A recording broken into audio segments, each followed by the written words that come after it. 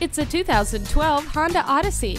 This sensational minivan offers incredible handling, endless seat configurations, and great standard amenities, including a tire pressure monitor, privacy glass, and the added safety of multiple airbags and stability and traction control.